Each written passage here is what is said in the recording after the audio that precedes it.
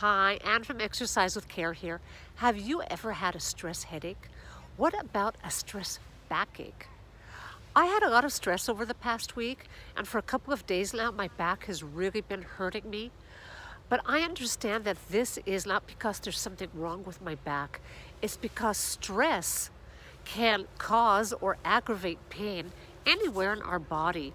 Pain is not always a sign of there's being something wrong, it's a sign of just too much going on and your brain wants to shut you down to get you to stop for a little while.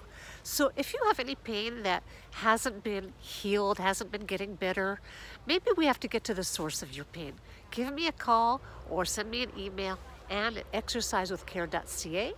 French and Ellie Guzman Integrative Medicine, and you can hear all of my blogs and tips on YouTube and Klausner.